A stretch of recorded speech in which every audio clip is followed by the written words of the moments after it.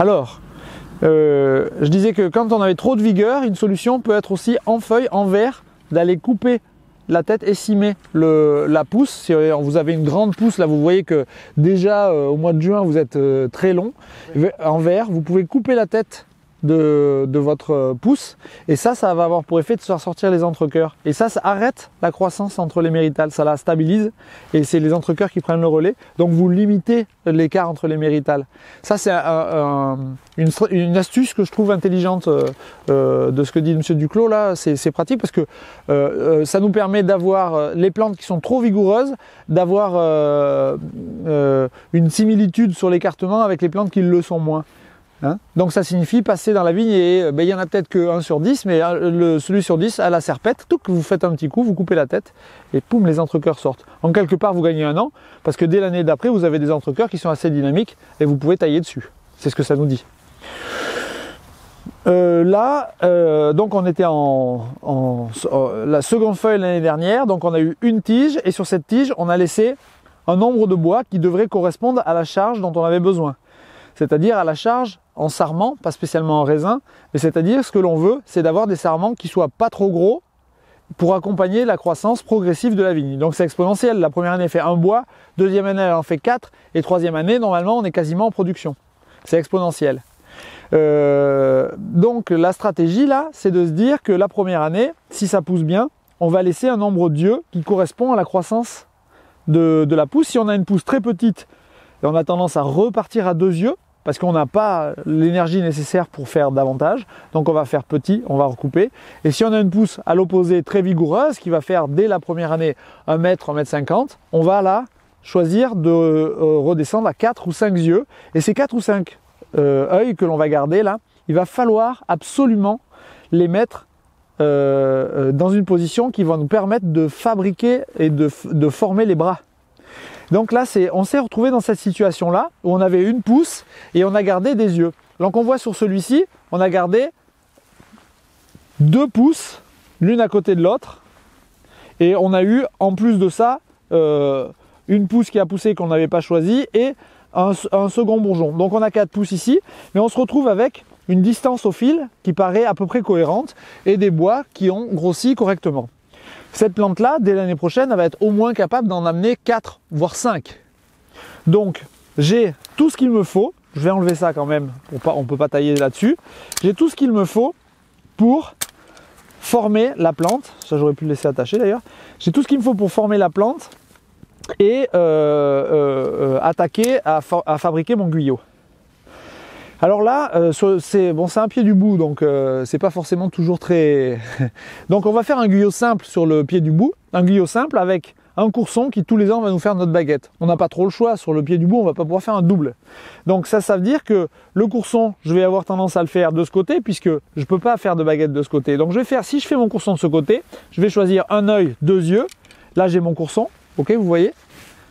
Et l'année prochaine, je vais toujours, toutes les années suivantes, je vais toujours plier ma baguette sur celui-là, parce que c'est un, un, cep de boudran. Je vais le plier toujours à l'opposé de, de, de, la, de la, à l'opposé du bourgeon. Donc l'année prochaine, ma baguette, elle sera ici, d'accord? Et mon courson sera ici, et donc j'aurai un courson qui me fabriquera la baguette dans deux ans, et ainsi de suite. Toujours mon courson, courson sur courson. Donc là, euh, euh, l'idée c'est de, de, faire en sorte qu'on ait juste la charge qui nous permet euh, d'avoir un pied équilibré. Là, mes yeux ils sont orientés correctement dans l'axe du rang, vous voyez. Sur la baguette, c'est pas fantastique, mais dès l'année prochaine, j'aurai des yeux bien orientés, donc je ne vais pas avoir besoin de retravailler l'angulation là. Donc je vais enlever le premier, probablement que j'en ai pas besoin. Le, celui, celui d'en dessous non plus. Et je vais faire 1 et 2 et j'ai dit qu'il m'en fallait 5. Et donc là je vais faire 3 ici. Donc je vais enlever celui-là. Je vais enlever celui-là pour répartir. 4. Et puis je vais sans doute en faire 5 ici. Donc ça veut dire que je vais devoir enlever ces yeux-là. Et après enlever tous les yeux qu'il y a ensuite. Donc là on peut même s'amuser à couper un peu plus court et enlever les yeux qu'il y a ensuite. Donc là on est censé en avoir 5. 5 répartis à peu près sur le rang. D'accord? 1, 2, 3, 4, 5. l'année prochaine, j'aurai ma baguette et mon courson.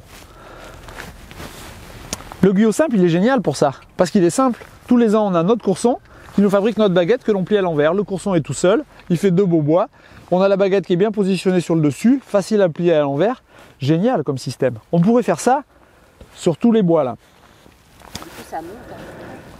Ça monte, non, c'est plus ça va horizontalement plutôt parce que regarde ici, celui-là il sera horizontal, ça s'écarte en fait. Donc ça va monter légèrement et à chaque fois tu vas te retrouver avec la baguette ici, tu vois, c'est comme si elle était prépliée. Elle est directement, elle va pousser directement quelque part avec un angle favorable puisqu'elle va pousser comme ça l'année prochaine. Pour la plier, ça va être top. hein. J'aime bien cette taille moi, je la trouve euh, assez, assez, assez fluide. Bon, l'idée là c'est de faire un guyot double, c'est-à-dire qu'on va, on va devoir faire plutôt un courson d'un côté et une baguette de l'autre pour l'instant parce qu'on est obligé. Et l'idée ça devait être d'arriver à former des bras à la même hauteur. Parce que la plupart du temps, comme on a un mérital, vous voyez ici, il y a une hauteur, une différence de hauteur de 3 cm. 3 cm, c'est pas significatif, mais certaines fois on va avoir 10. Et donc quand on a 10 ou 15, on va faire un courson et de l'autre côté, la baguette, on va euh, faire démarrer les deux premiers yeux de la baguette pour faire le courson de l'année prochaine sur cette baguette en quelque part, comme une latte sèche. Ça va nous faire deux yeux d'un côté pour faire le courson et de l'autre côté on va faire une latte sèche avec deux yeux pour faire le courson l'année prochaine, plus un peu de fructification pour équilibrer la charge. Et là, si la baguette elle est en dessous, ces deux yeux, on va pas les laisser au début, on va les ébourgeonner au début et on va les monter au même niveau que les yeux du courson. Ceci pour avoir euh, un bras, euh, deux bras symétriques l'un avec l'autre. Je me fais comprendre quand je dis ça? On va, se le retrouver dans la vigne forcément. Donc euh, on peut aussi très bien, si on a le courson en dessous et la baguette au-dessus comme on a l'habitude, faire un courson, au lieu de faire un courson avec deux yeux courts, on va ébourgeonner les deux premiers yeux et garder le 4 et le 5. Comme ça, on va remonter et se retrouver avec un courson qui va être au même niveau que les premiers yeux de la baguette. Du coup, on aura un cep équilibré avec deux départs de courson au même niveau.